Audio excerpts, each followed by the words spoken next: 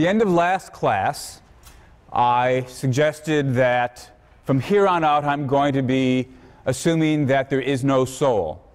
I'm going to be discussing the, class, discussing the issues that we turn to hereafter from the perspective of the physicalist, the person who says that uh, a person is basically just a fancy body, a body that can do certain special tricks, a body that can function in certain ways that we associate with being a person, a body that can P function, as we put it.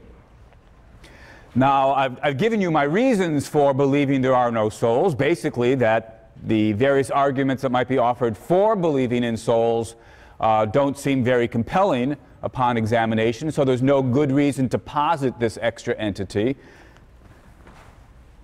For the most part, then, I'm going to be putting aside soul talk. Periodically, I'll come back and talk about how some issue that we are considering might look from the perspective of somebody who does believe in souls, but as I say, for the most part, I'm going to be assuming there are no souls. For those of you who still do believe in the existence of souls, I suppose you could take a great deal of the discussion that follows as some form of large conditional or subjunctive. You know, if there were no souls, then here's what we'd have to say.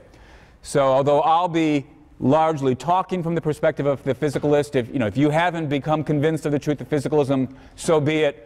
We'll at least explore what will we say about death if we've decided that people are basically just bodies.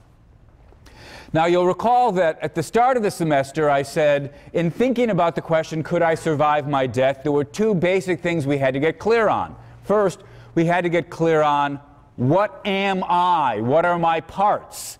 And that's why we've spent the last several weeks worrying about the question, am I just a body? Am I body? Am I a body and an immaterial soul as well? Or perhaps strictly speaking, just the soul? Having looked at that question, we're now going to turn to the second basic question. What would it be to survive? What would it be for a thing like that to continue to exist? Now, of course, we're going to ask most particularly, particularly, what would it be for a thing like that to survive the death of the body? Could it even make sense for a person to survive the death of his body? You might think the answer to that is no if we are physicalists, but in fact, it's not so clear the answer to that is no. But in order to address that particular question, what is it for me to survive the death of my body? Is that even a possibility or not? We first have to get clear about the more general question what is it for me to survive, period? Take the more familiar humdrum case. Here I am lecturing to you today, Thursday. Somebody's going to be here, no doubt, lecturing to you next week, next Tuesday. The question of survival can be asked about that very simple case is the person who's going to be lecturing to you on Tuesday the very same person as the person who is standing in front of you lecturing to you now? Will that person survive the weekend? I certainly expect to survive the weekend, but what is it to survive the weekend? What is it? Well, we might say, look, we've already got the beginnings of an answer. For me to survive till Tuesday, presumably, is for there to be somebody, some person alive lecturing to you on Tuesday. And here's the crucial point for that person lecturing to you on Tuesday to be the very same person as the person lecturing to you today, on Thursday. Know, if, if, if I were to be killed in a plane accident this weekend and there was a guest lecturer for you on Tuesday, there'd be somebody alive lecturing to you, but of course that wouldn't be me. So the question we want to get clear on is what is it for somebody on Tuesday to be the same person as the person here talking to you on Thursday? And we can ask the question more grandly about larger expanses of time. Suppose there's somebody alive 40 odd years from now, in the year 2050. Could that be me? To ask, have I survived until 2050 is to ask, is that person who's alive in 2050 the very same person as the person who's standing here now lecturing to you? What is it for somebody in the future to be the very same person as this person who's here now today? Now, in thinking about this question, thinking about this question, it's important not to misunderstand what we're asking. Some of you may misunderstand what I'm asking. I mean, some of you may want to say, look, person lecturing to you now has at least a fair bit of his hair, he's got a beard. Let's suppose that the person alive in 2050 is bald and bent over, has no beard. How could they be the same person? One's got hair, one doesn't, one's got a beard, one doesn't, one stands straight, one's crooked. Can't be the same person. That's the mistake that it's important for us to get clear about. So I'm going to spend some time talking about examples that I think we would not find puzzling and work our way back up to the case of personal identity. So, first, I'm going to say some things about identity across time, or indeed initially identity across space, with some familiar humdrum material objects. So, let's start. Suppose you and I are walking along and we see a train. So, let me draw the train first.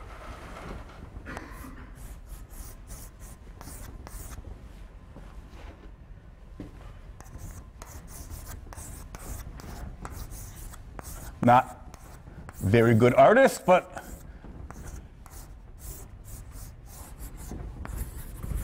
all right. There's our train. We start walking. I point to the locum I point to the caboose. Let's make this look more like a caboose, slightly more like a caboose. Just so it doesn't look too much like the locomotive. I point to the caboose. And I say, look at that train.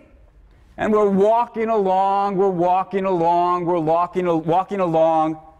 We come to the end of the train, and I point to the locomotive, and I say, wow, look how long that train is. That's the very same train I pointed to five minutes ago.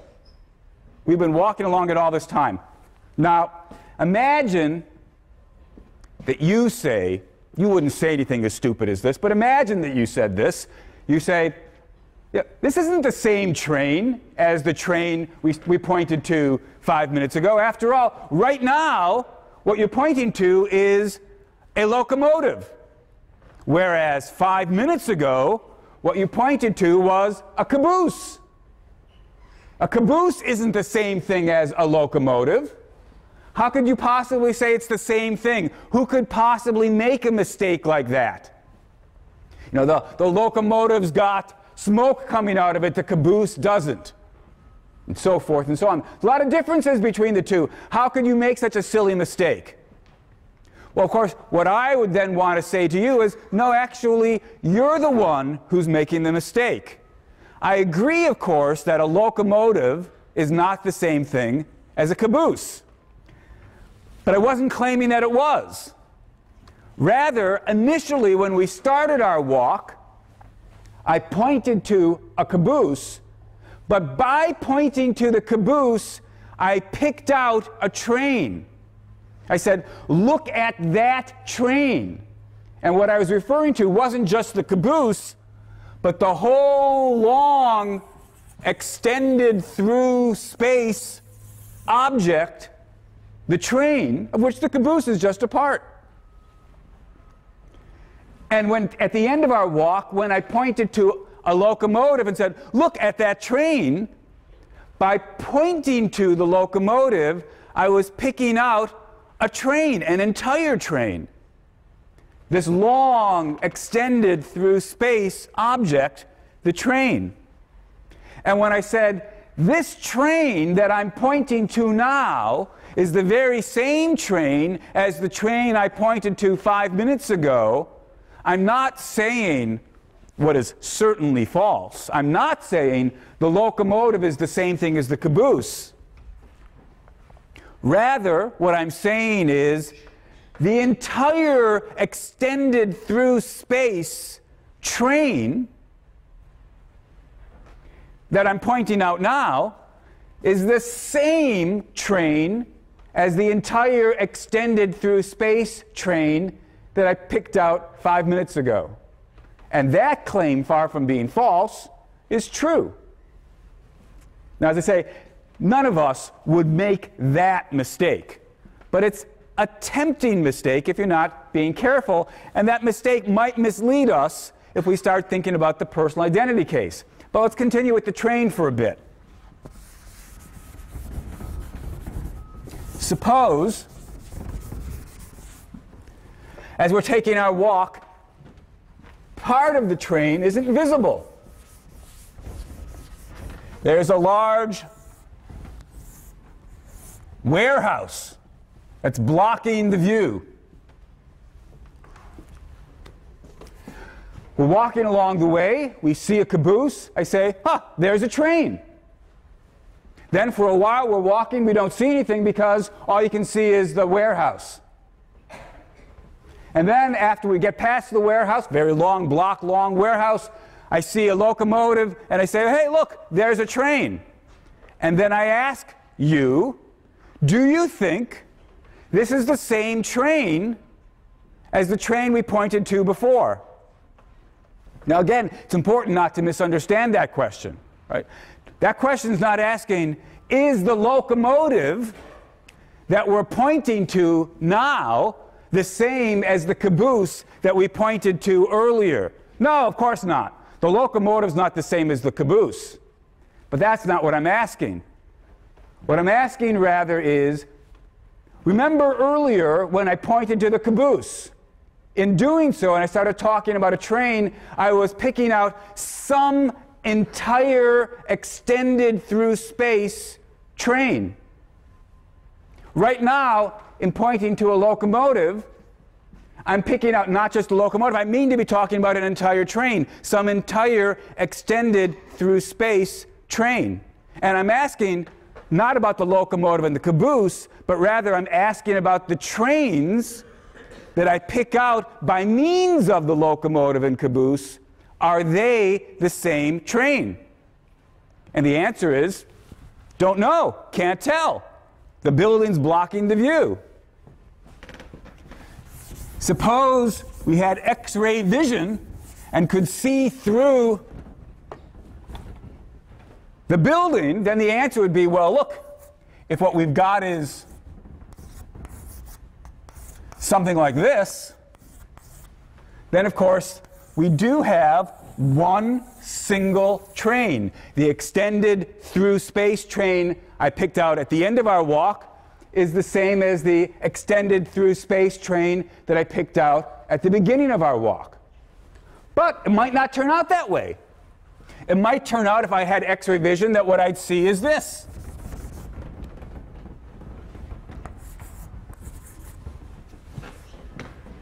Then the answer would be ah, there's not one train here, but two trains. The extended through space train that I'm picking out when I point to the locomotive turns out to be a different train from the extended through space train I picked out when I pointed to the caboose. If I don't have x ray vision, I don't know which of these metaphysical hypotheses is the correct one. All right. Easy enough with trains. We know how it works with trains. Let's talk about something not a whole lot more complicated. Cars. Used to have a car I bought in 1990. My ability to draw cars is even worse than my ability to draw trains.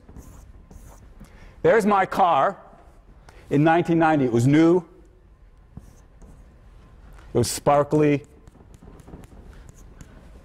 Then I drove it for some years and I got some dents and so forth and so on. There's a smile. by 1996 or 2000 wasn't looking so good.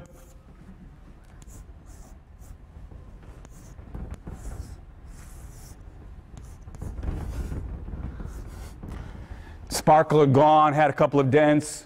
That was the car in 2000. By 2006,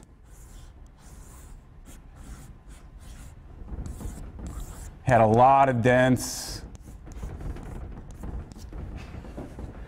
2006 when it finally died. All right.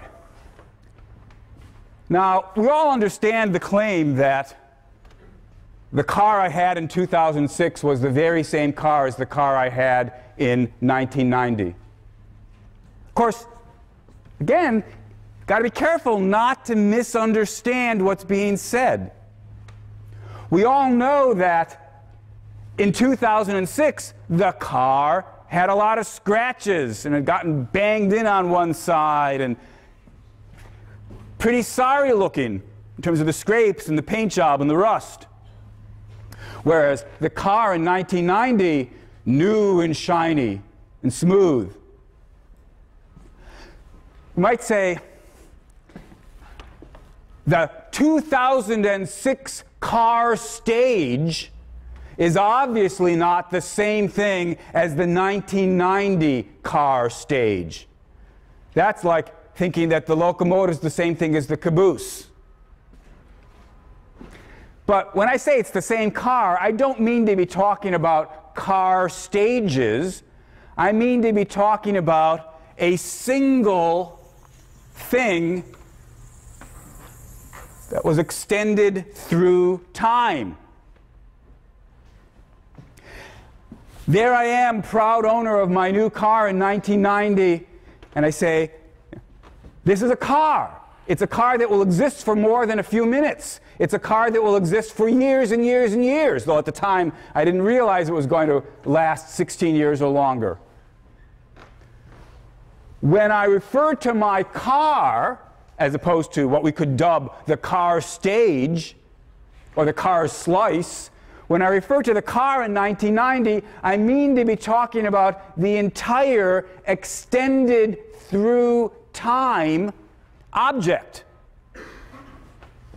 2006, when I point to that sad heap and talk about, I've had that car for 16 years. Well, I haven't had that car stage for 16 years. That car stage or that car slice, if we wanted to talk about it that way, you know, has only been around for however long months, years, a year. Hasn't been around for 16 years. But when I talk about that car, I'm picking not just the current slice or the current stage of the car, but the entire extended through time object. When I say that's the very same car I've had for 16 years, I mean, think of the object extended through time that I'm picking out by pointing to the current slice. That's the very same extended through time object that I picked out 16 years ago by pointing to what was then the current slice. The slices aren't the same, the car is the same. It's the very same car.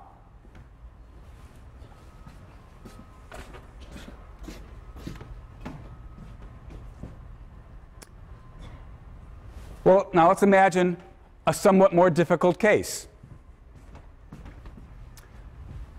The end of 2006, my engine failed.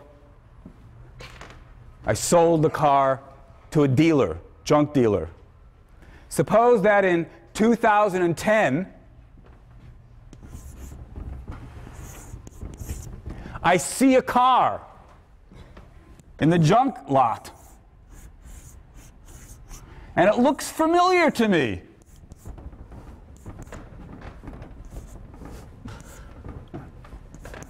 Say, whoa, that's my car. Is it or isn't it my car? This is sort of like the case with the factory blocking the view. You know, 1990 to 2006, very easy. Saw the car every day in my garage. But here's a four year instead of a factory blocking my view, it's the mists of time blocking my view and I ask, same car or not? Again, by this time, I imagine you don't need to be warned, but let me just warn you a couple more times.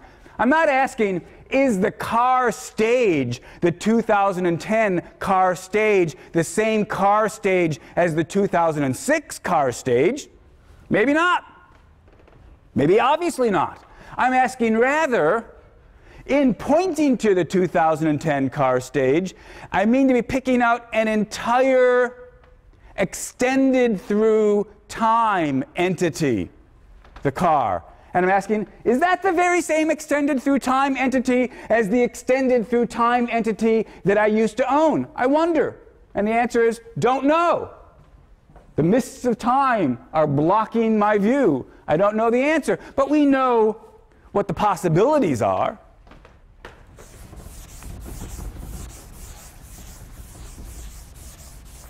One possibility is that indeed it's the very same. I won't draw it all. You know, 2008 and so forth. It could be the very same car. If we knew what it took to have the various stages of a car add up to the very same car, then that would be one possibility. But there might be a different possibility. Could have been that after I sold it to the junk dealer, he crushed it, turned it into a heap of metal, and that was the end of my car. And the car I'm seeing on the dealer's lot in 2010 might be some other car with its own history. What we're wondering about is is there a single Oh, here's a piece of jargon. Is there a single space time worm here, or are there two?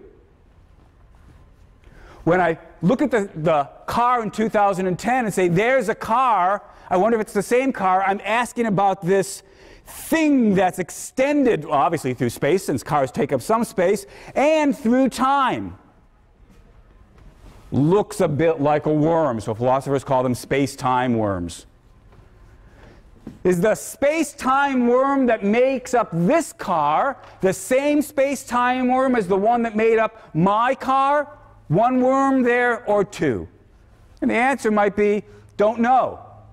Need to have more facts. But at least that's what the question is. Now,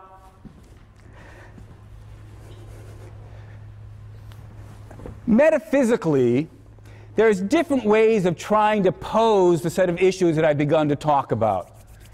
Should we say, as we might say with the train, the train is made up out of the various cars, the locomotive, the caboose, and the intervening cars. So the train, that's the, that's the way we normally think about trains, at least the way I normally think about trains. The train's a bit like a sandwich right? The metaphysically fundamental things are the caboose, the locomotives, the intervening trains. If they're glued together in the right way, they make up a train. What's the right kind of metaphysical glue for trains? Well, it's being connected with those little you know, locks. That may or may not be the right way to think about what I've been calling car stages or car slices. On some metaphysical views, you might say, just exactly like with the train, the car stages are the metaphysically fundamental things, and, and a car, something extended through time, is glued together like a sandwich from uh, the car stages. And then we might worry about what's the relevant metaphysical glue for cars. On other metaphysical views, no, what's really prior is the car itself, and talking about car stages is a certain convenience, a kind of way of chopping up the fundamental thing, the car. So, t- to use uh, an analogy that uh, I think David Kaplan, a philosopher at UCLA, offers, it's as though you have to think of it more like a, a bologna or a salami that you can slice. If for certain purposes you can talk about slices, but the fundamental thing's the salami. All right. In thinking about cars, should we say that the fundamental thing is the car stages and they get put together like a sandwich to make cars? Or should we think that the fundamental thing is the car extended through time and they can be sliced up to make car stages? For our purposes, I think we won't have to go there. Doesn't really matter. As long as we're comfortable talking about entire space time worms, the cars, and the, the slices or the stages. We don't have to ask which is metaphysically prior. Should also notice that I should also mention that there are other metaphysical views about what goes on when an object exists over time. Uh, I've been here helping myself to the suggestion that we should think about extension over time analogously to the way we think about extension over space.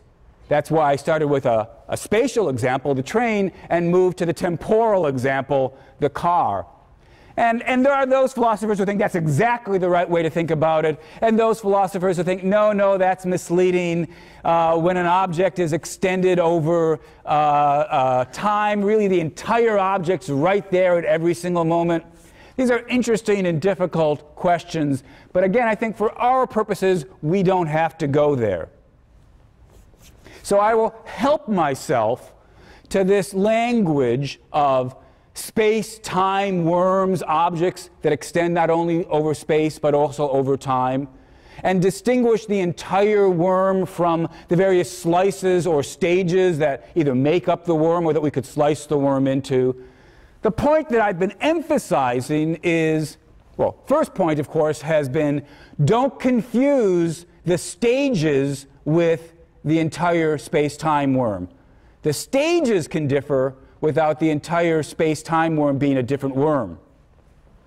Second question I've hinted at that we're about to turn to, not, not literally turn to in a moment, but sh shortly we'll turn to, is what's the relevant glue?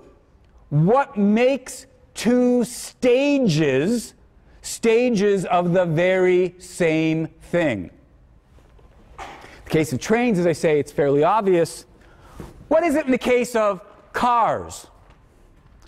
What makes the 1990 car stage a stage in the very same car, the extended through space and time worm car, as the 2006 stage?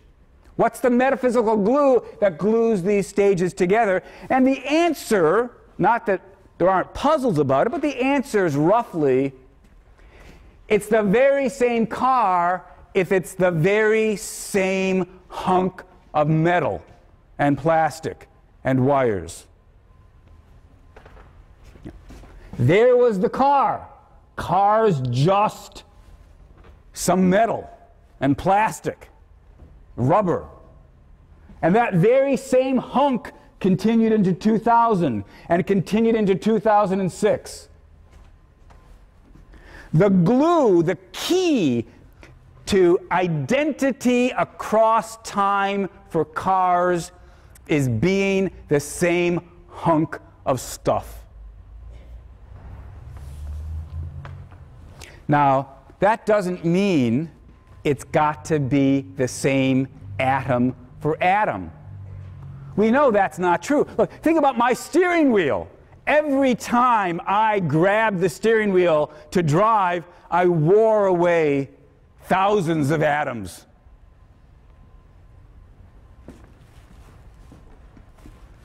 You can lose some atoms and still be this very same steering wheel. Every now and then, I'd replace the tires on my car. But for all that, it was the same hunk of stuff. Now, this raises sort of an interesting issue. How many changes of the constituent parts can you have and still be the same hunk of stuff? If this was a class in which we were going to worry about the general problem of identity across time, this would be a problem we'd have to directly face. But since we are only looking at enough of the problem of identity to get to the question that we really want to think about, the nature of personal identity across time, I'm not going to pursue that. I just want to flag the thought that you can be the very same hunk of stuff even if some of the constituent atoms have changed along the way. And even bigger parts. You can replace the, the headlights and still be the same hunk of stuff. Anyway, that's what's gone on in the car case.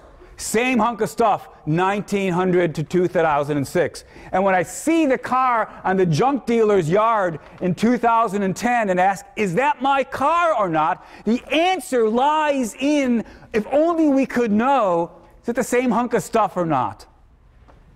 That's what the key, the metaphysical glue is, being the same hunk of stuff. All right, let's turn now to the case we really wonder about.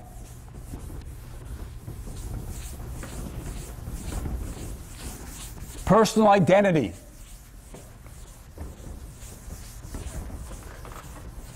Here's somebody lecturing to you in 2007.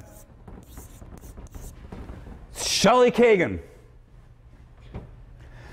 We imagine there's somebody in 2050 and we ask, is that Shelly Kagan? We'll call him Mr. X. We ask, is that the same person or not? Now, again, at this point, you're not going to be tempted by the mistake, right? I'm not asking, is this person stage, Mr. X, the same person stage as SK 2007? Obviously not. SK 2007 still got his hair, has the beard, stands up more or less straight. Mr. X is bald, doesn't have a beard. I, should, I suppose I should have drawn him bent. Can I do that? A little cane, right? I'm not asking is the person stage, Mr. X, the same as the person stage, SK 2007? Sounds like a computer or something. Get the SK2000. Uh, I'm not asking that. I'm asking, I'm saying, look, when you look at the current stage, the current person slice, and think about the entire extended through time entity, the person that makes up Shelly Kagan, or that is Shelly Kagan, is that the very same person as the extended through time person that you've got in mind when you point to the Mr. X 2050? The stages are obviously different, but by looking at the stages, we pick out a space time worm that makes up a person. And we're asking, is that the very same space time worm as the one we picked up previously, or a different space time worm than the one we picked up pre previously? And the answer, presumably, is going to be well, it depends on getting clear on whether the stages are glued together in the right metaphysical way. And so, what we'd like to know is well, what does it take for two person stages to make up or be part of the very same extended through time person? What's the metaphysical glue that underlies being a single extended through time person? What's the key to personal identity? If we could get clear about the answer to that metaphysical question, the key to personal identity, we'd at least know what we needed to find out to answer the question is this one person or two? Are the pieces glued together in the right way? Different question. The question that we're ultimately hoping to get an answer to could I survive my death? Well, look, think again about the question we started with. Could I survive the weekend? To survive the weekend, there's got to be somebody who's alive, some person on, on Tuesday. And that person's got to be the very same person as the person you're looking at now, you're thinking about now. Or to put it in terms of stages, that person's got to be, that stage, that slice, has to be part of the very same extended through time, space time worm as, as this stage is. They've got to be glued together in the right way. We can't tell whether that's true until we know what the glue is, but at least we anticipate that well, there will be somebody here on Tuesday who is glued together in that way, the right way, whatever that turns out to be. The stages will be glued together in the right way. Suppose I ask then, will I survive my death? All right, so I'm going to be optimistic. I'm going to assume that I make it to 2040. 2040 won't even be 90 yet. That's not too wildly optimistic. It's optimistic, but not wildly optimistic.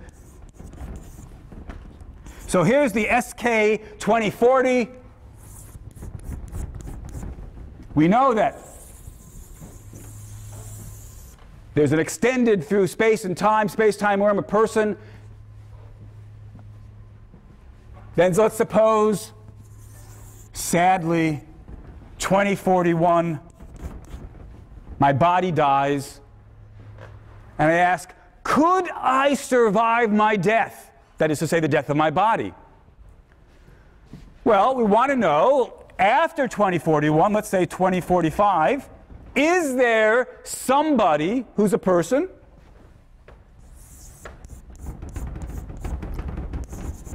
Call him Mr. X. Could it be the case that there'd be a person in 2045 after the death of my body in 2041 could it be the case that there's a person who's part of the very same space time worm that you're thinking about right now? Could that be or not? We can't answer that question until we are clearer about what does it take to have identity across time. What's the key to personal identity? What's the metaphysical glue? Once we get clear about what the relevant metaphysical glue is, we'll be in a position to start asking, could this happen or not?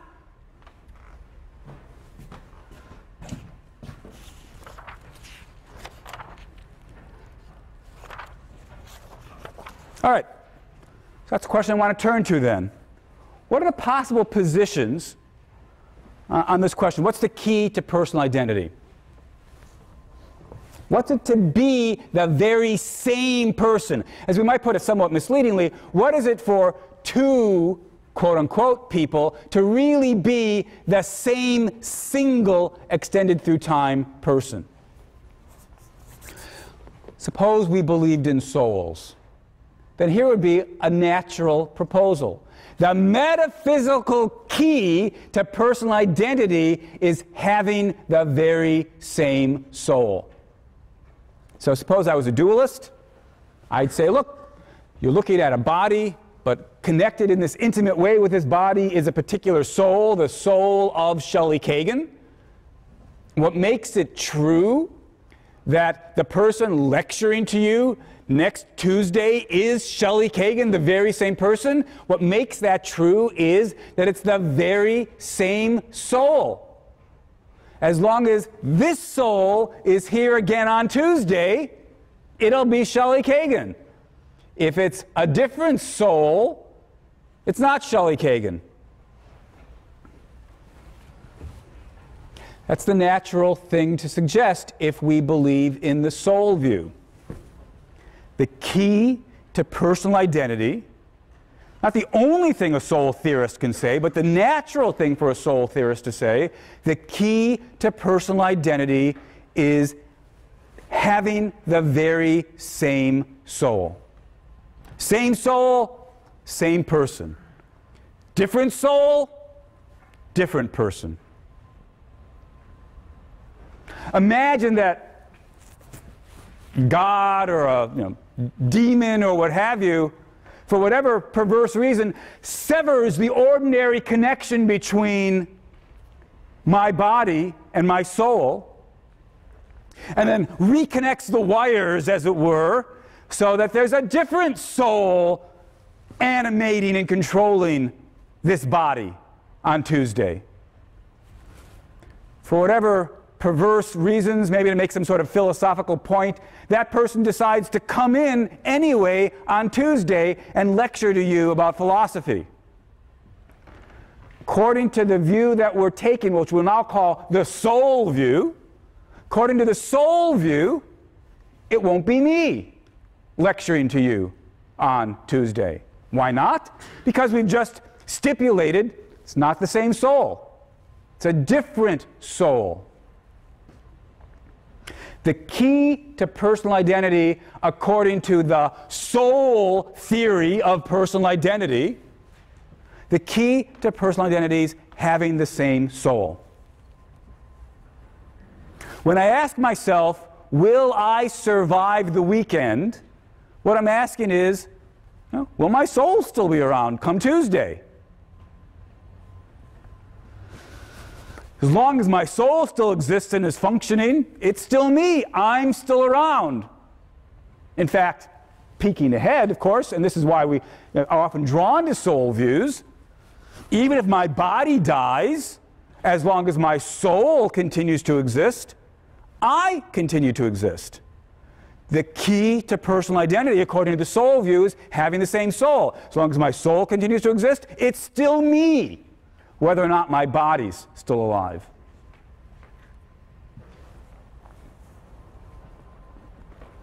And it's precisely for this reason that at least the soul, belief in the soul, combined with the soul theory of personal identity, holds out the possibility of surviving my death.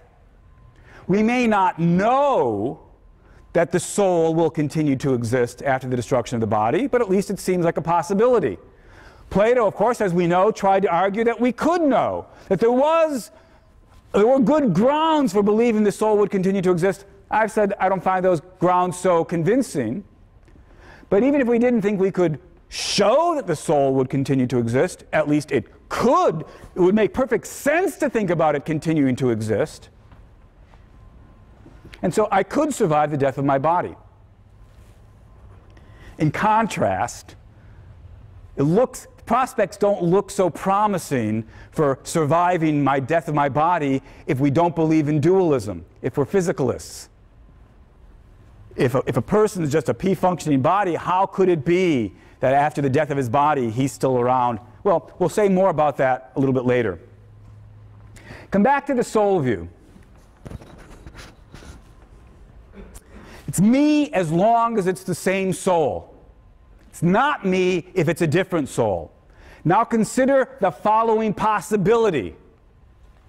Suppose that over the weekend, at 3 a.m. Saturday night, Sunday morning, while I'm asleep, God replaces my soul with a different soul, hooks it up to the body, gives that soul, that replacement soul, all of my memories, all of my beliefs, all of my desires, all of my intentions.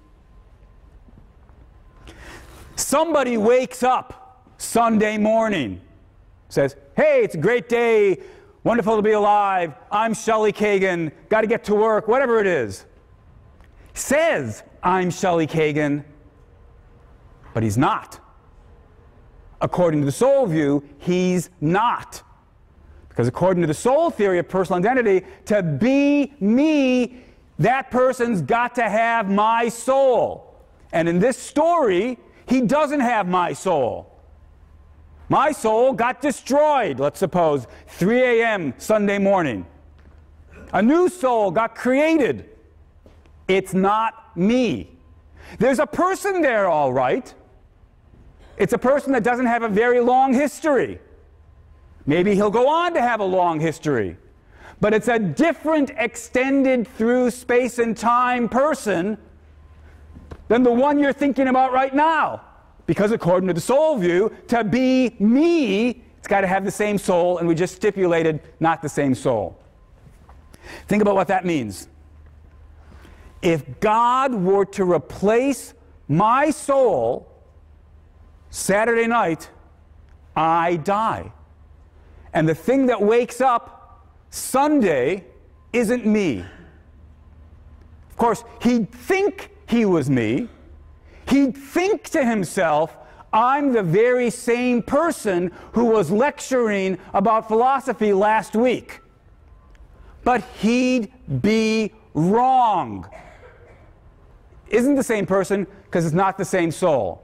He'd be wrong, and notice this there'd be no way at all he could tell.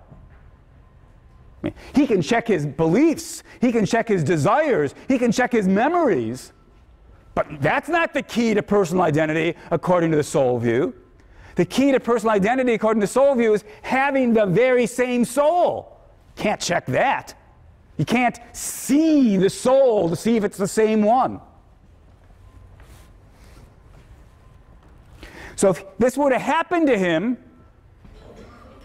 he wouldn't be Shelly Kagan the person who'd been lecturing last week, but there'd be no way at all he could know that. And now, the question you need to ask yourself is how do you know this didn't happen to you last night? You woke up this morning thinking, I'm the very same person, Joe, Linda, Sally, whatever it is, the very same person who was in class yesterday. How do you know? How could you possibly know?